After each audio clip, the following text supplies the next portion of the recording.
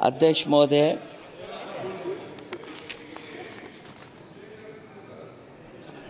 मैं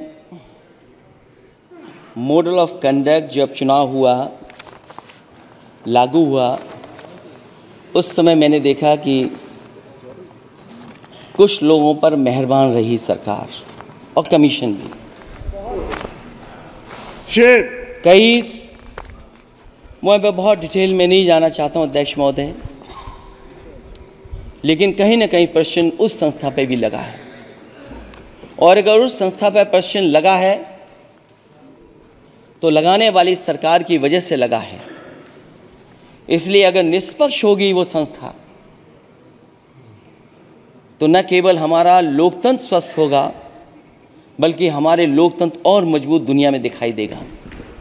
अध्यक्ष महोदय ईवीएम पे मुझे कल भी भरोसा नहीं था, आज भी नहीं भरोसा।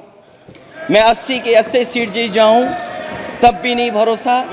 और मैंने अपने चुनाव में कहा था, अध्यक्ष महोदय ईवीएम से जीत करके ईवीएम हटाने का काम करेंगे। न ईवीएम का मुद्दा मरा है न जाएगा खत्म। जब तक ईवीएम नहीं हटेगी हम समाजवादी लोग उस बात पर अड़ग रहेंगे।